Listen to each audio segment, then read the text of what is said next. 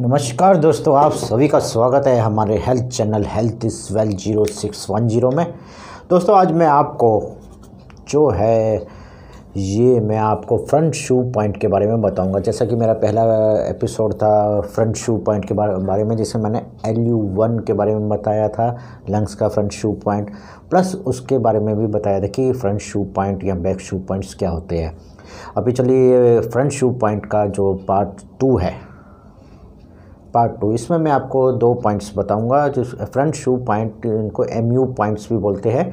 ये वो पॉइंट्स होते हैं जिन पर प्रेस करने से आपको अगर पेन मिलता है तो मतलब उस ऑर्गन को रिप्रेजेंट करते हैं। मालूम चलता है कि उस ऑर्गन में कुछ प्रॉब्लम आ गई है। ये बारह ऑर्गन से जुड़े रहते हैं। तो इनसे आपको मालूम चलता है प्रेस करने पर अगर इसमें, जैसे पिछले मैंने बताया था एल यू वन पे अगर आपको पेन है तो मतलब कि आपके लंग्स में कुछ खराबी है। वो पेन इसको अलार्म पॉइंट भी बोलते हैं इनको। इनको अलार्म पॉइंट्स भी बोलते हैं।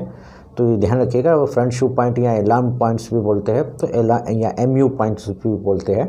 अलार्म पॉइंट इसलिए कहा जाता है कि वहाँ पर उस ऑर्गन के रिप्रेजेंटेटिव अलार्म पॉइंट पर अगर दर्द हो रहा है तो उस ऑर्गन में खराबी आ गई। वो अलार्म बजा के आपको बता रहा है। वो कभी कभी हल्का सा टच करने पर पेन होता है।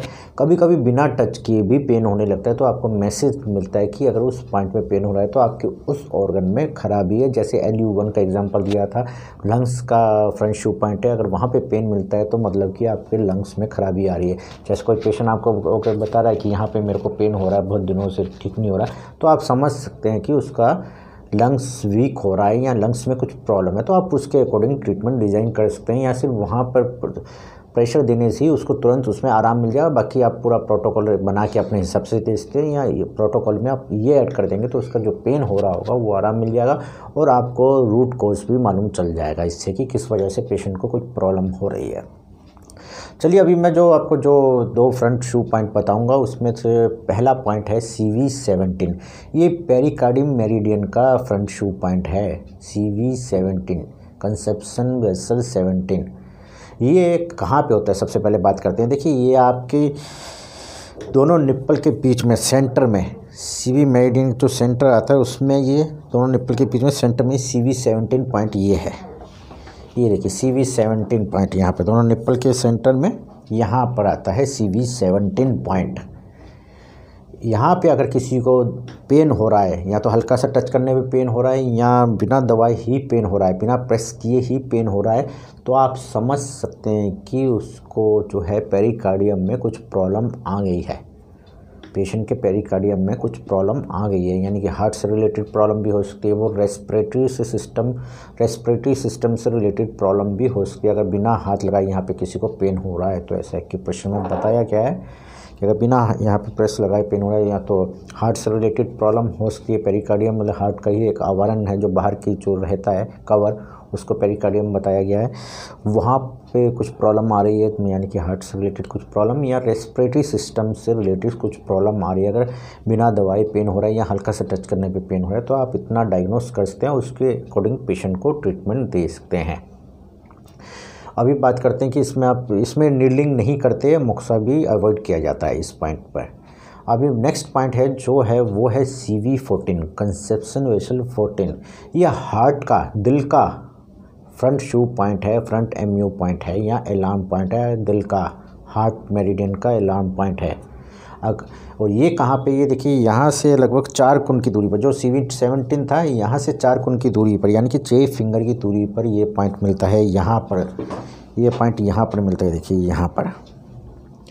यहाँ पर अगर आप बिना हाथ लगाए पेन हो रहा है, या हाथ लगाने से पेन हो रहा है तो आप समझते हैं कि व्यक्ति को हार्ट की प्रॉब्लम कार्डियक की प्रॉब्लम यानी कि दिल की कोई प्रॉब्लम हो गई है उसको हार्ट से रिलेटेड कोई प्रॉब्लम हो गई है तो उसके लिए आप इस पॉइंट से डायग्नोस कर पाएँगे।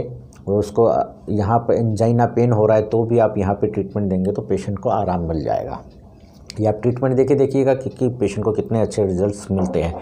अभी बात करते हैं इन दोनों पॉइंट का मैंने बता दी एक पेरिकार्डियम का इलाम पॉइंट है और एक हार्ट का इलाम पॉइंट है।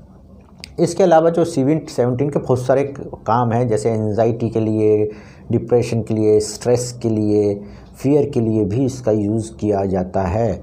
इसके बारे में अधिक जानकारी के लिए आप मेरा सी वी मेरिडियन वाला वीडियो देखिएगा यूट्यूब में तो वो मिल जाएगा।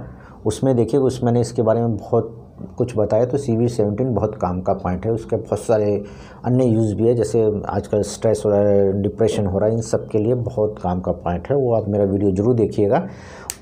इसके अलावा जो सी वी फोर्टीन उसका भी बहुत सारे काम है। हार्ट की प्रॉब्लम में कुछ होता है पेल्पिटेशन हो रहा है तो उसमें भी काम आता है। इसलिए उसके भी बहुत जो काम अगर आप देखना चाहते हैं तो आप मेरा सी वी मेडियन वाला भी मैंने वीडियो बनाया था कुछ टाइम पहले तो आप बहुत जाके देख सकते हैं। उससे आपको बहुत कुछ सीखने को मिलेगा। पेल्पिटेशन की समस्या आजकल बहुत हो रही है, गुस्सा आने की बार बार चिड़चिड़ापन एंगर को भी उससे कंट्रोल किया जाता, जा सकता है एंजाइना पेन को भी उससे कंट्रोल किया जा सकता है तो सी वी मेडियन का सी वी फोर्टीन पॉइंट देख लीजिए, जो हार्ट का अलार्म पॉइंट है। इसके अलावा इसके जो काम देखने हैं आपको तो सी वी मेडियन वाले में देख लीजिएगा। थैंक यू वेरी मच इस वीडियो को ज़्यादा से ज़्यादा लोग के साथ शेयर कीजिएगा। ये सबके काम का वीडियो है, सबके लिए अच्छा है कि आप बिना किसी मशीन के पीछे बिना किसी और इंस्ट्रूमेंट के आप डायग्नोस कर सकते हैं सेल्फ डायग्नोस भी कर सकते हैं और पेशेंट का डायग्नोस भी कर सकते हैं कि आपको इससे रिलेटेड कुछ प्रॉब्लम हो गई है या आने वाली है। तो आपका डायग्नोस ये काफ़ी हद तक सही रहता है। तो ये आप डायग्नोस करके अपना फ़ायदा उठा सकते हैं पेशेंट को फ़ायदा दे सकते हैं। और इसके अलावा जो महाराष्ट्र के थेरेपिस्ट है, जैसे मैंने बताया तो ये काउंसिल में आने वाले हैं सिलेबस का हिस्सा है front shu point back shu point तो ये सिलेबस का भी हिस्सा भी है, जो महाराष्ट्र काउंसिल के एग्ज़ाम होने वाले हैं। उनका हिस्सा है तो इसलिए आप ये उस हिसाब से भी आप तैयारी कर सकते हैं। स्टूडेंट्स के लिए भी एक अच्छा है और ये सब लोगों के काम आने वाला पॉइंट्स है तो सबको ज़्यादा से ज़्यादा लोगों को शेयर कीजिएगा, अपनी और अपने चाहने वाले के लोगों की सेहत का ख्याल रखिएगा। Bye bye thank you